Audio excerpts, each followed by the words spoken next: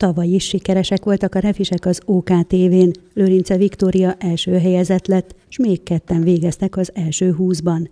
Ők idén már nem indulhatnak, mert 13-osok. Ezen az OKTV versenyen 11-12-es korosztály méretetik meg, és hát logikus, hogy, hogy a, az idősebb korosztály többet tud már, mert ugye a második fordulóba portrét kell rajzolni. Az OKTV vizuális kultúrából is három fordulós. Az első forduló témája a térhatás, térélmény volt.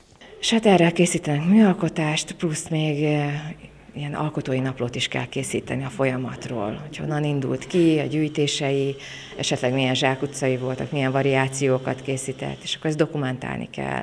És akkor ezt a kettőt veszik figyelembe, ez alapján adnak pontokat. A második fordulóba Demeter Vivien 72, Koszorús Kristóf 78 ponttal jutott tovább, a maximálisan adható pontszám 80. A második forduló február 24-én lesz. Portrét kell készíteniük fél alakot kézábrázolással. A technika szabadon választott, de monokróm, tehát egy szín, szénnel vagy ceruzával.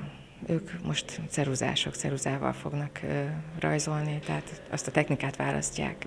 És a, az idő az pedig három óra, három óra áll rendelkezésre, fönt lesz Pesten a Budai Rajziskolában. A vizuális OKTV-re 350 diák jelentkezett, közülük 60-an jutottak be a második fordulóba. A február 24-i portrérajzolás után derül ki, hogy ki lesz az a 30, aki ott lehet a vizuális kultúra idei OKTV döntőjében.